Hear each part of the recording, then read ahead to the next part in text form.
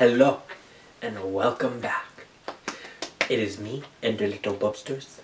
As you can see, he is wearing a little sweater because it is a ripe negative 22 degrees outside right now. And later in the day, it is supposed to get up to a ripe negative 54 degrees. Can't wait. Cool.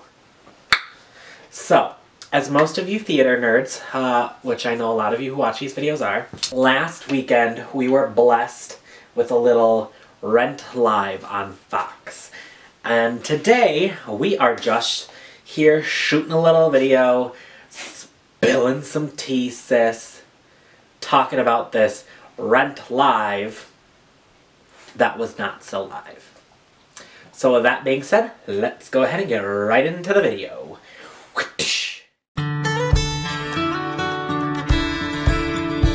So, my number five for the worst thing in this production was I felt that the cast just had no connection to their characters or the script, if that makes sense.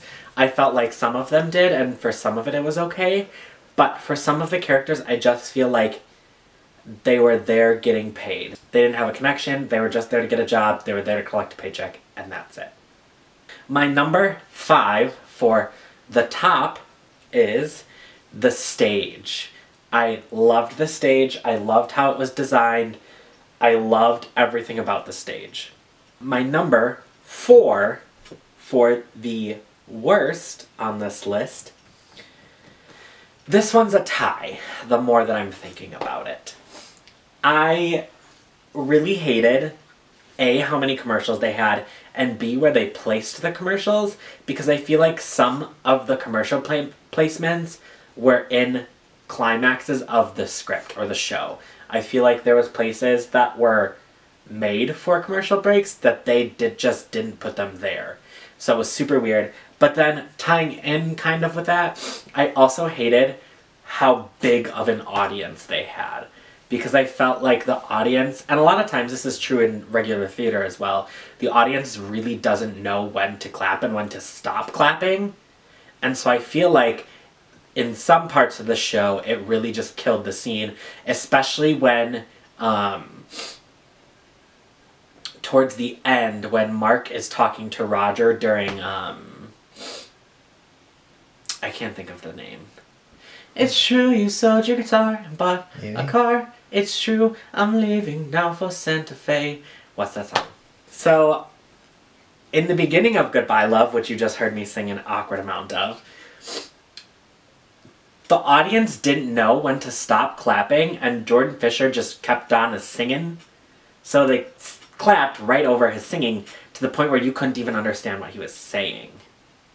So that was rough.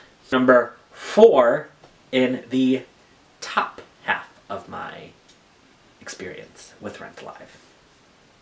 And I would have to say my number four is the actor who plays Collins. Brandon Victor Dixon you did a wonderful job as Collins. But he was incredible. His voice was perfect. In the I'll Cover You reprise, I was dying, I cried, I got goosebumps, it was incredible. That's all I need to say, because it was great. My number three for the worst was how rough it started. It started so bad. It was to the point where we sat down to watch it and I turned to Logan and I was like, this is gonna be awful. Here's my issue. Because Brennin got hurt and they used the pre-recorded dress rehearsal, things were not how they could have been. And that's the rough part, is like, as an audience, we know it might have been a little better if they would have done it live. But, for example, and this is no tea, no shade, I still love her, Tinashe in the first like two songs she sang sounded terrified. Terrified? Tinashe in her first couple of songs sound terrified. And then she really got that power behind her voice during Out Tonight is when she really like started blossoming. And let me tell you, the first little bit of Out Tonight when she was singing her ows, those were those were a little rough. I will come for those. But the rest from then on was incredible. And then when her and um, Brennin were singing the scene where they were in the elevator and going up Their voices just matched perfectly. I don't remember exactly what scene that was, but their voices matched really well, and that was the whole point of that two minute conversation of me trying to figure out what scene they matched really well in. My number three for the tops is the choreography. The choreography was incredible. Especially my favorite number was La Vie Boheme. It was so good. I'm mad how they cut out the waiter in La Vie Boheme because that's the best part of that song. But I get it. Not everyone loves meatless balls. But I thought the choreography throughout the entire show, but specifically that show, that number was fantastic. I loved it. I really want to look into who the choreographer was. My number two for the worst was the sound mixing, which I already mentioned. And again, this might just be because it was a dress rehearsal, so they didn't get to work out the final kinks. But my theory is, Fox, you had millions of dollars. That was the dress rehearsal from the night before. You should have had the money to fix all of those sound issues. The sound mixing in the beginning was awful. The sound mixing during La Vie Boheme was awful. You could hear, I think it was Brennin's character say, wow, I'm so sweaty, and then continue to talk during it. It just, it was not good. My number two for tops is Angel's death scene.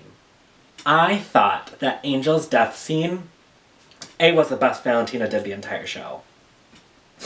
But B, I thought the way it was staged, the way they used the music, the lighting cues, I thought the way, and like, uh, the scenography of it all, is that a word, scenography? That's a word. I think I've used that word in theater before. It makes me sound smart. the way the entire scene looked was just incredible. I loved, loved, loved it. Number one worst thing I hated about Rent Live is Miss Valentina. Oh my Let me tell ya. The girl started and I turned to Logan and I was like, oh my god, like she sounds really good. And he said, yeah, money and voice lessons can make anyone sound good. And that became true during Today for You, Tomorrow for Me. She sounded very good in the beginning. And then the song went on and she just progressively got worse. And then I'll Cover You was just pure cringe. Pure, pure cringe. It was so bad. Like I said, the best thing that Valentina did during the entirety of Rent Live was die.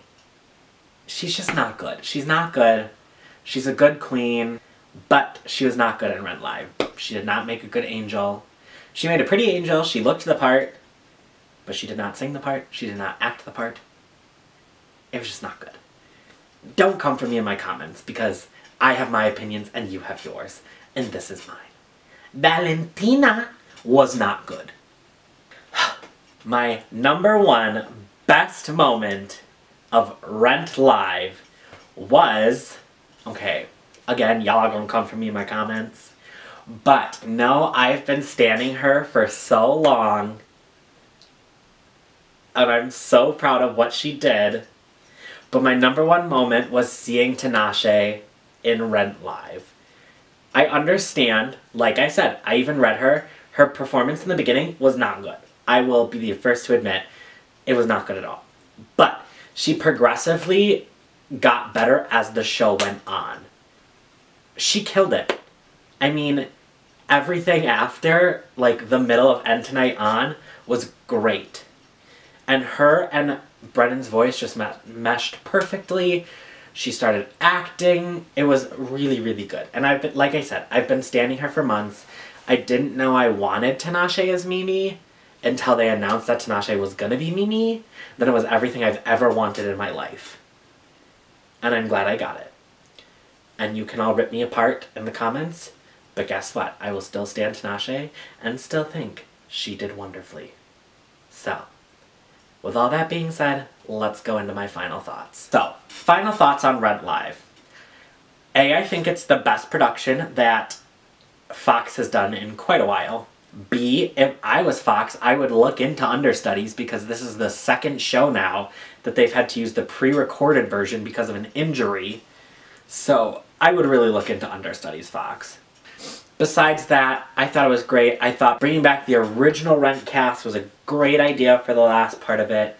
Um, so yeah, I'm really excited to see what Fox does next year. Hopefully they do something even better because I just feel like this has finally showed growth in Fox's live musicals and I hope they just continue to grow. So hopefully next year's live show the caliber goes up. Hopefully they don't have to cancel it like they did Bye Bye Birdie last year. So yeah, we will see what Fox has in store for us. As always, thank you guys so much for watching. Don't forget to like, comment, and subscribe. Remember, I love you. Even if I've never met you before, I still love you. No matter what your situation is, somebody out there loves you. I hope you guys have a wonderful day, evening, night, afternoon, whatever time of day it is where you're watching this. I hope it's wonderful. Thank you guys so much for watching. We are now switching our schedule to Mondays and Fridays. So we will post a video this Friday, but then we will post a video on Monday and not Wednesday. So be on the lookout for that. Make sure you hit that notification bell so you know when we do post it. And again, I hope you all have a wonderful night.